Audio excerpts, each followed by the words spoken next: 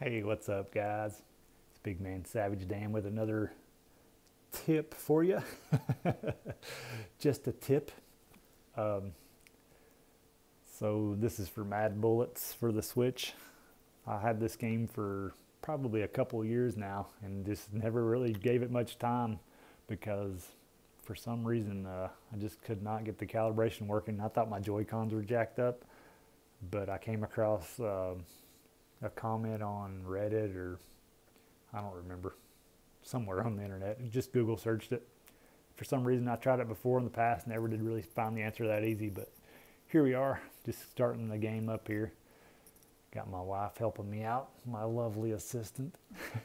but anyways, just uh, start your game and uh, it's just to take you to this calibration screen here. So it says hold your Joy-Con and aim to the center of the screen and shoot with ZL or ZR. So just depending which gun con you're using, you just want to make sure when you are pointing at the center and you shoot, you only do it one time. Uh, you're not going to see your cursor right away when you do that. So after you shoot at the center one time, then you want to aim to the upper left corner of the screen and shoot. And then this should make your calibration a lot better. You're not going to be jumping from one side of the screen to the other. It's going to be a little more steady. Still a lot to deal with in this game. But uh, we'll just get a little gameplay here for you guys and show you. Um, and if you're not aware with this game, it is takes a little getting used to. Every time you hit the reload button, it recenters your cursor there. As you can see, you can you can play a little if you want. So on this level, the objective is don't get hit. She's already did that one. And shoot five wagon wheels and just stay alive. So, like I said, just with this game,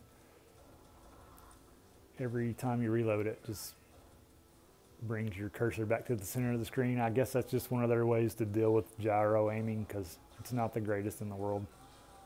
But yeah, hopefully that calibration there at the beginning will help you guys. like I said, I had this for a couple years and just was convinced the game was just broken. But we've been having a blast with it the last couple of days, just playing uh, co-op. That's another little thing to let you guys know if you do want to max the game and get the full uh, objectives on every level. You can only do that with a single player as far as I can tell. So that kind of sucks. But uh, if you just want to go through the game and have fun with somebody, it's a fun little co-op game. But uh, that's about it, guys. Just wanted to get a little gameplay just to show you the cursor is basically pretty steady. We've, we've gotten pretty good at it where we're shooting the locks off of the people that are chained, the damsels in distress, yeah.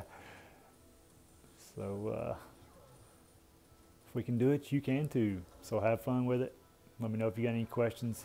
Try that calibration out and have fun. See you guys.